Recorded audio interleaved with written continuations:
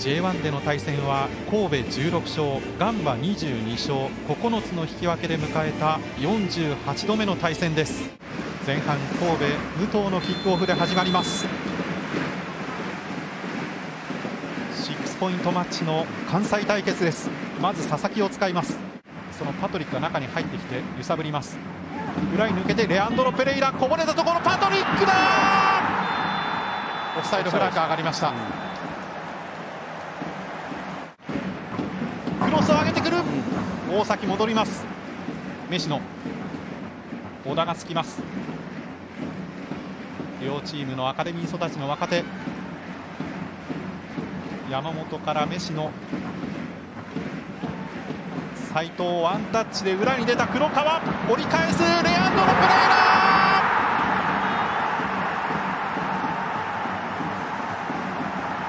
先制点はガンバ大阪黒に染まるゴール裏に向かって。しっかりと測ってましたよね、まあ、黒川のスピードをしっかりとこう殺さず殺さずに。あとは黒川。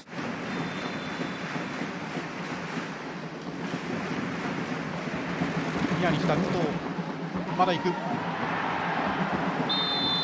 藤にファールがありました、うん、そしてその武藤倒れ込んでいますが、ね、大丈夫でしょうか。今 VAR と更新してますね、うん、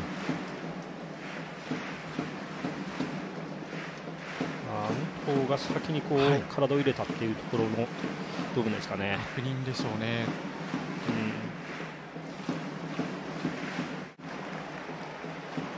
ん、さあ決断されたようです。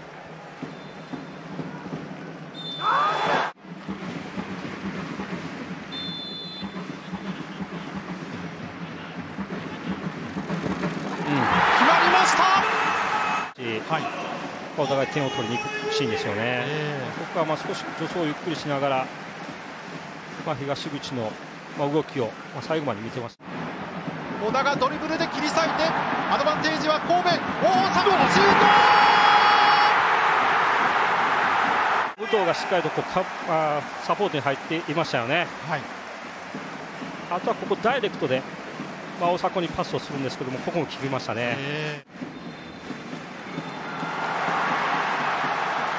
ここでファイナルホイッスルです。雄たけびを上げる大迫。